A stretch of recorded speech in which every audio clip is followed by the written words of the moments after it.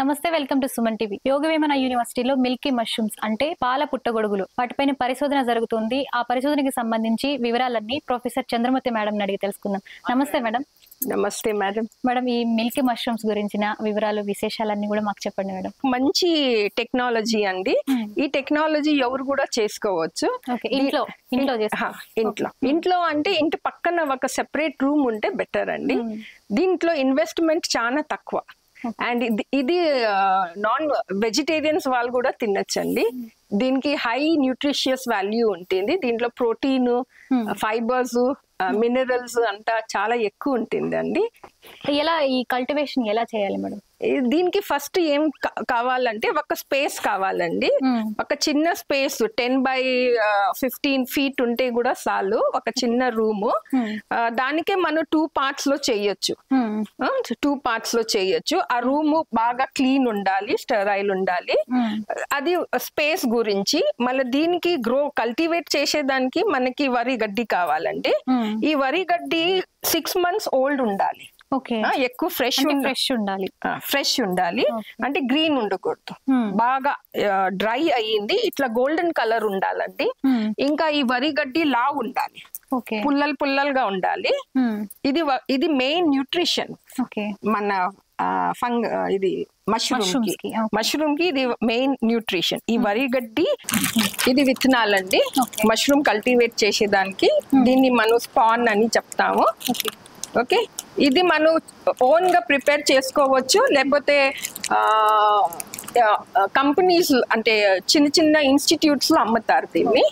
Okay? ఇది వరి గడ్డి విత్తనాలు మళ్ళా మనకి ప్లాస్టిక్ బ్యాగ్ కావాలండి. ప్లాస్టిక్ అంటే కవర్స్ కవర్స్ కావాలి. ఆ. కవర్స్లో మనం ఆ వరి గడ్డి చూసి చూసినాం కదా దానికి చిన్న పీసెస్ చేస్తాము. ఇట్లాంటి కవర్స్ కావాలండి? అవునండి. ఓకే. ఆ వరి గడ్డిని ఇట్లా పీసెస్ చేసేసి Hmm. స్టెరిలైజ్ చేయాలండి. ఓకే. తడిపినట్టున్నారు కదా.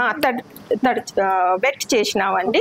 ఇది ఎట్లా స్టెరిలైజ్ చేయాలంటే ఒక చాపర్తో ఈ గడ్డిని ఫైవ్ సిక్స్ సెంటీమీటర్స్ కట్ చేసి Hmm. ఇలా డ్రమ్ ఉంటుంది టూ హండ్రెడ్ లీటర్స్ డ్రమ్ దీంట్లో హండ్రెడ్ లీటర్ వాటర్ నింపుకొని Hmm. దాంట్లో కెమికల్స్ వేస్తాం.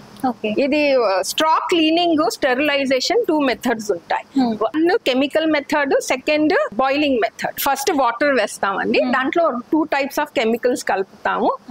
ఫంగస్ కిల్ చేసేదానికి బావిస్టిన్ అని పౌడర్ ఉంటుంది. Hmm. ప్లస్ ఫార్మల్ డిహైడ్ అది రెండు వన్ లీటర్ సెపరేట్ కంటైనర్లో నీళ్ళలో కలిపేసి దీంట్లో వేస్తాం హండ్రెడ్ లీటర్. తర్వాత అది కట్ చేసింది వరి గడ్డిని తీసుకొని Hmm. దీంట్లో వేస్తామండి. బాగా మిక్స్ చేసి Hmm. వెయిట్ పెట్టి Hmm. సోక్ అయ్యేలాగా వదిలేస్తాం అంటే ఎంత time sixteen to twenty hours అండి ఇది ఇది లోపల దీని లోపల పెట్టే తర్వాత ఒక కవర్తో క్లోజ్ చేసేస్తామండి నెక్స్ట్ డే ఆ నీళ్ళు పడేస్తాం. ఆ గడ్డిని తీసి ఆరబెడతాం. ఓకే ఆరబెట్టి దాంట్లో నీళ్ళంతా వెళ్ళిపోవాలండి. Hmm. ఇట్లా మనం చేత్తో ప్రెస్ చేస్తే నీళ్ళు ఉత్త తడిగా స్లైడ్గా ఉండాలి. ఎక్స్ట్రా వాటర్ అంతా వచ్చేయాలి. ఈ గడ్డిని మళ్ళా మేము బెడ్స్ ప్రిపరేషన్కి యూజ్ చేస్తాం బెడ్ ప్రిపరేషన్కి ఈ ప్లాస్టిక్ అండి కవర్స్ యూజ్ చేస్తాము. దీని size fourteen by twenty. Fourteen by twenty two inch అండి. ఓకే? దీంట్లో మేము ఏం చేస్తాము ఆ విత్తనాలు ఉంది కదా అండి Hmm. ఫస్ట్ కింద రబ్బర్ బ్యాండ్ వేస్తామండి. ఇట్లా రబ్బర్ బ్యాండ్ వేసి తిప్పుకుంటాం ప్లాస్టిక్ని Hmm. తిప్పుకొని దీని బేస్లో విత్తనాలు వేస్తాం. లాస్ట్ ఫస్ట్ వేసేస్తారు. వేసేస్తాం. Hmm. ఒక ఫిఫ్టీ గ్రామ్స్ అట్లా వేసేస్తాం. తర్వాత వన్ లేయర్ ఇది పెడతాం. ఈ వరి గడ్డి. స్టెరలైజ్డ్ వరి గడ్డి ఒక లేయర్ వేస్తాము. తర్వాత మళ్ళా ఒక ఫిఫ్టీ గ్రామ్స్ విత్తనాలు వేస్తాం. విత్తనాలు వేసేది ఒక మెథడ్ ఉంటుందండి ఎడ్జెస్లోనే వేయాలి ఈ ఈ బ్యాగ్ ఎడ్జెస్లోనే వేయాలి విత్తనాలు. అట్లా మేము వరిగడ్డి విత్తనాలు వరిగడ్డి విత్తనాలు వరిగడ్డి విత్తనాలు వేస్తా. Six six layers six layers six layers తర్వాత. ఈ దీన్ని రబ్బర్ బ్యాండ్తో మేము కట్టేస్తాం. ఓకే. కట్టేస్తాం. కట్టే తర్వాత ఇప్పుడు ఇది ఫస్ట్ స్టెప్ అయింది కల్టివేషన్లో.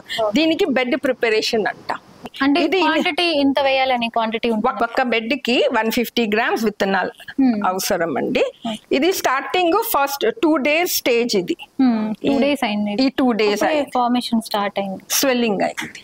ఇది గ్రో అవుతా ఉంది అని twenty days twenty days after twenty డేస్కి ఇట్లా టూ పార్ట్స్ డివైడ్ చేసి డివైడ్ చేయాలి. డివైడ్ చేస్తే ఈ బెడ్ని స్లైడ్గా ప్రెస్ చేయాలి. ఓకే. దీన్ని టూ సెంటీమీటర్ ఎత్తు.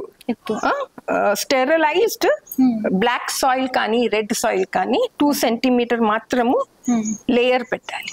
లేయర్ చేయాలి. లేయర్ చేసిన తర్వాత మనం దీనికి లైట్ కండిషన్లో తీసుకురావాలి. రూమ్లో నుంచి లైట్లో ఇది లైట్ కండిషన్ ఓకే ఈ లైట్ కండిషన్లో పెడితేనే పిన్ హెడ్స్ ఫ్రూట్ స్టార్ట్ అవుతాయి. దీనికి వాటరింగ్ చేయొచ్చండి మరి తర్వాత? చేయొచ్చు. వారానికి ఒక్కసారి పైన ఆ స్ప్రేయర్ ఉంది. స్ప్రేయర్తో నీళ్ళు కొట్టాలి. వీక్లీ వన్స్ స్ప్రే చేయాలి. అవునండి. అది వెట్టి ఉండాలి కొంచెం.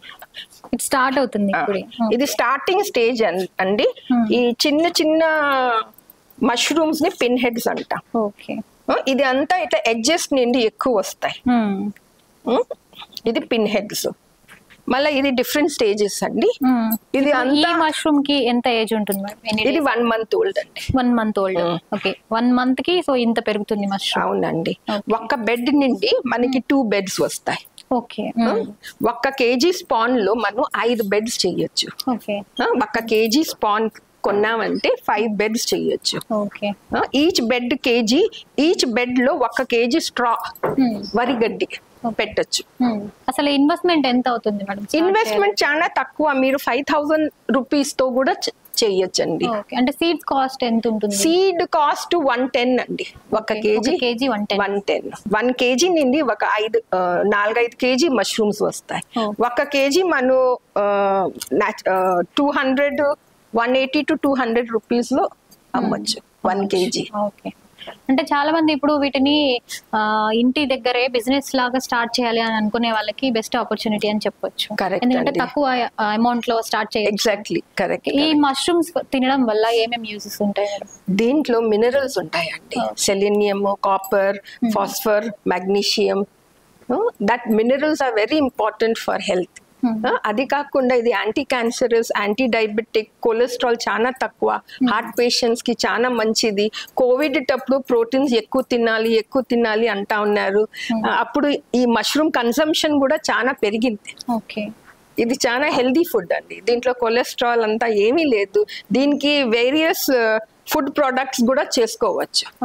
మష్రూమ్ పిక్కల్స్ చేసుకోవచ్చు మష్రూమ్ డ్రై చేసి పౌడర్ చేసి సూప్ సూప్స్ చేసుకోవచ్చు. చేసుకోవచ్చు. మేడం ఇప్పుడు మష్రూమ్ గ్రో అయ్యి కట్ చేయాలి అని అంటే దానికి ఎన్ని డేస్ పడుతుంది? ఇది ten to fifteen centimetres height పెరిగితే మనం కట్ చేసుకోవచ్చు అండి ఇది కట్ చేసిన మష్రూమ్ ఒక్క హాఫ్ బెడ్లో మూడు పంటలు వస్తాయి. ఓకే. మళ్ళీ అది చేసిన తర్వాత మళ్ళీ వస్తూనే ఉంటాయి. వస్తూనే ఉంటాయి. ఆ వేస్ట్ బెడ్ లాస్ట్లో మనం మాన్యూర్గా యూస్ చేసుకోవచ్చు. మన ఫీల్డ్లో.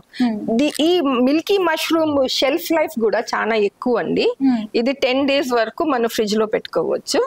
ప్లస్ ఒకవేళ అది సేల్ అవ్వలేదంటే మనం ఇట్లా దానికి డ్రై చేసి ప్యాకెట్స్లో పెట్టుకోవచ్చు. సో చూసారు కదండి యోగవేమన యూనివర్సిటీలో మిల్కీ మష్రూమ్స్ పైన పరిశోధన ఏ విధంగా జరుగుతుంది. వాళ్ళు సీడ్స్ కూడా మనకి సప్లై చేశారంట చిన్నపాటి బిజినెస్ ఎవరైనా ఇంట్లో ఉండి స్టార్ట్ చేయాలంటే వాళ్ళు హెల్ప్ చేస్తామని కూడా చెప్తున్నారు. మేడం ఈ మిల్కీ మష్రూమ్స్ గురించి ఎంతో మంచిగా వివరించారు మాకు. మీ యొక్క విలువైన సమయం మా కోసం కేటాయించినందుకు thank you madam. Thank you very much నాకు ఈ అవకాశం ఇచ్చేదానికి. Thank you madam.